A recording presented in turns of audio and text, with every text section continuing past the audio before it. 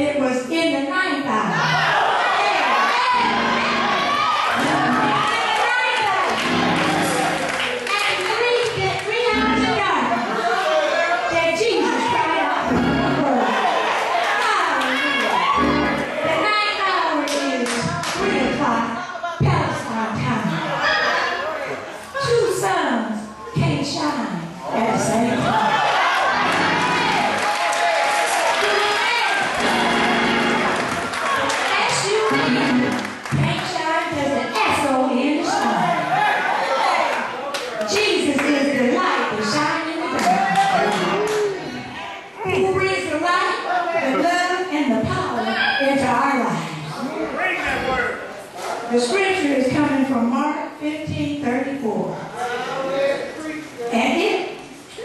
ninth hour, Jesus cried out in a loud voice, saying,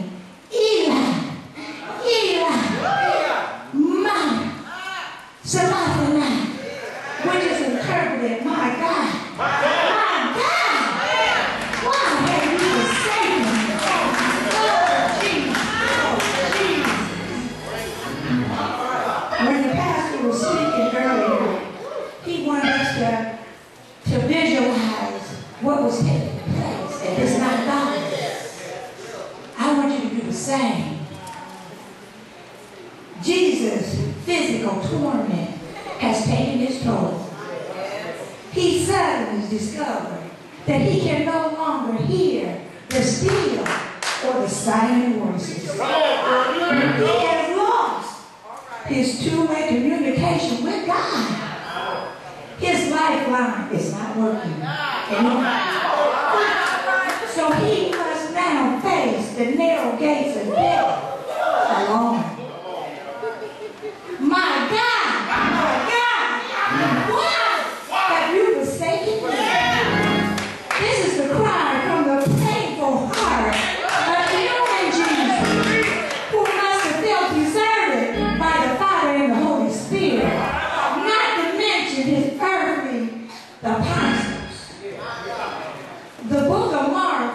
If you want to emphasize, has his loved one looking from afar. They're not close to him as it is in the book of John. Jesus was separated from the Father. He is all alone. And he must, he must face death all by himself. Matthew the evangelist, excuse me, Matthew the evangelist emphasized that Jesus suffered from the separation of God, for which we are eternally destined. Hallelujah, hallelujah. Listen, never before except a deep fellowship, an intimate fellowship between Jesus and his Father had ever been broken. The Old Testament is the New Testament concealed. And the New Testament is the Old Testament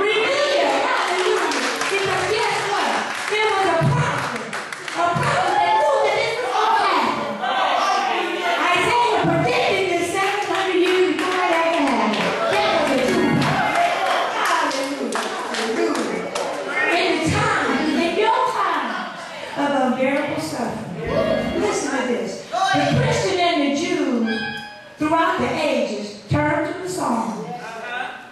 In these classic Hebrew prayers, you find comfort for the troubled soul. Yet you find words to express your loneliness, your desperation, and even your doubts.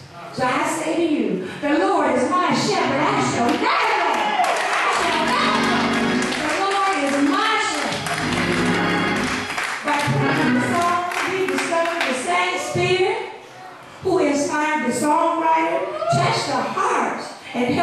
connect with the living God. Given the experience of people, of God's people throughout century, it's not surprising that Jesus quotes from Psalms as he's being crucified. The question of the fourth word, my God, my God, what has thou forsaken me? is a direct quote from Psalms 22 1. I bet y'all didn't know that, did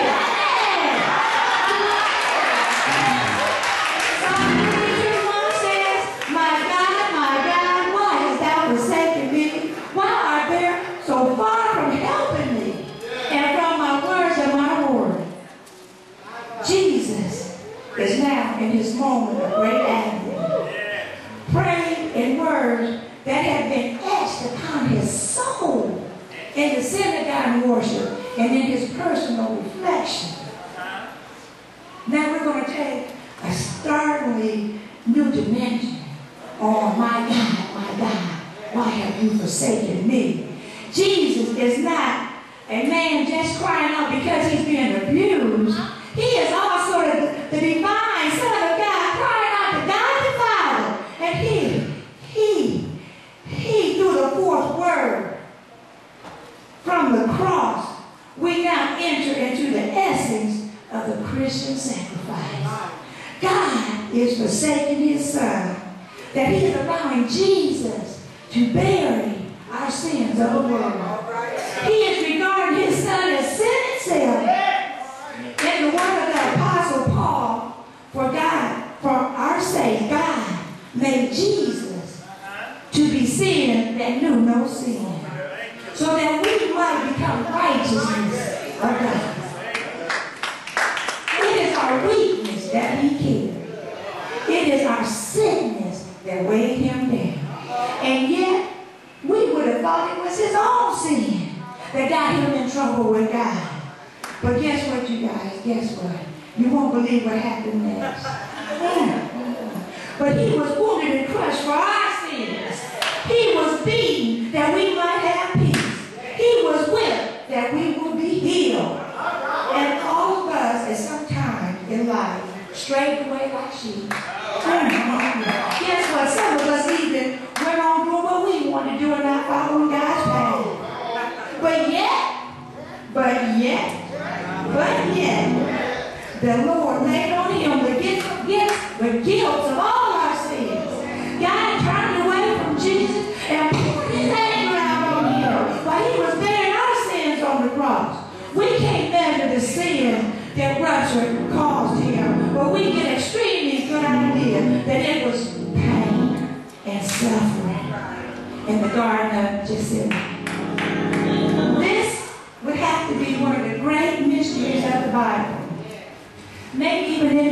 The universe. God is merely not forsaken the human and divine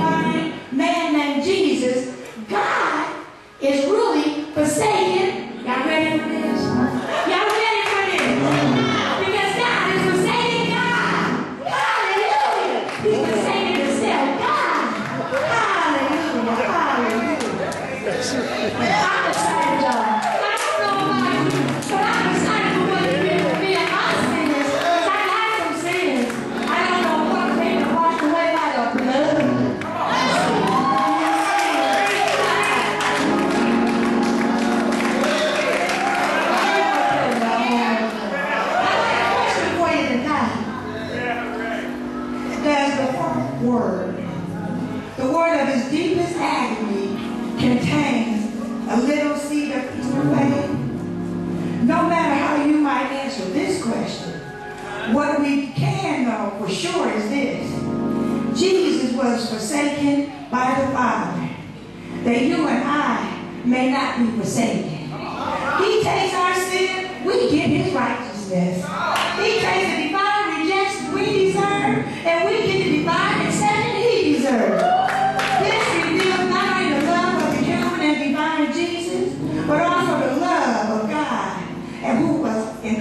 incarcerated, wait a incarnated in Jesus. Ooh, I'm getting out of here, God.